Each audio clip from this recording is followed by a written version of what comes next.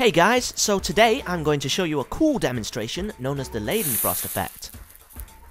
Now this demonstration involves extreme heat, so please don't try this at home, or you'll probably get burnt like this guy.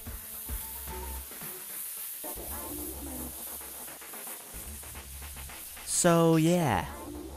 So the Leidenfrost effect is a phenomenon named after Johann Gottlob Leidenfrost, who published a manuscript on the subject back in around 1756. So here I have a standard hot plate which I'm going to heat up and drop water on. Now as you can see, as the plate is heating up, the water just evaporates like normal.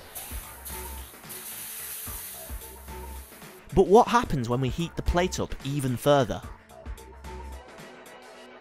Watch what starts to happen to the water as the plate heats above 200 degrees C.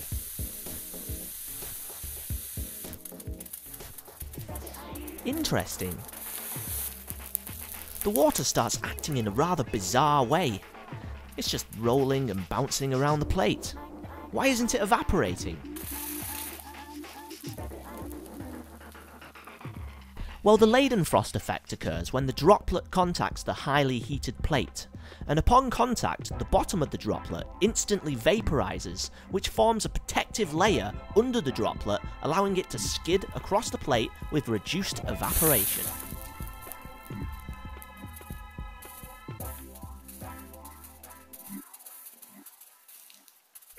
Who'd have known water could be so interesting? As I reduce the heat of the plate, you'll see the droplets start to spit and vaporise until it's completely evaporated.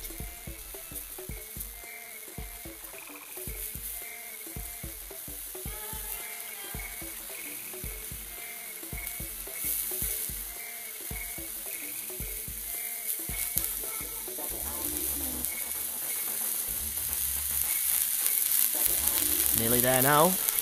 Going, going, and it's gone. So there we have it, the Leidenfrost effect. I'll see you next time.